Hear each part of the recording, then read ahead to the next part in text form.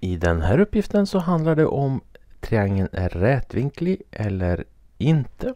Och då är det så här att om triangeln är rätvinklig gäller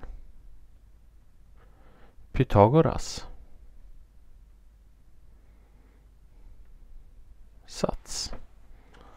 Sådär. Och då kan vi ju undersöka det här då. Och då har vi Pythagoras sats som är a i kvadrat plus b i kvadrat är lika med c i kvadrat. Där a och b är de två kortare sidorna och c är den längsta sidan i triangeln. Så då är det ju det här jag ska undersöka då.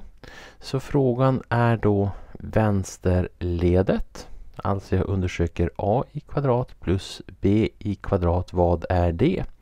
Och då tar jag 45 i kvadrat. Och adderar med 24 i kvadrat. Och det blir då 45 i kvadrat adderat med 24 i kvadrat.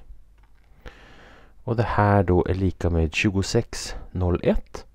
Så jag får 01. Sådär. Och så sen högerledet då. Det är detsamma som c i kvadrat, det vill säga den längsta sidan. Så det blir då 51 i kvadrat. Och frågan är vad blir det då? 51 i kvadrat. Så. Och det blir 2601. Så vänsterledet är lika med högerledet. Ja, triangeln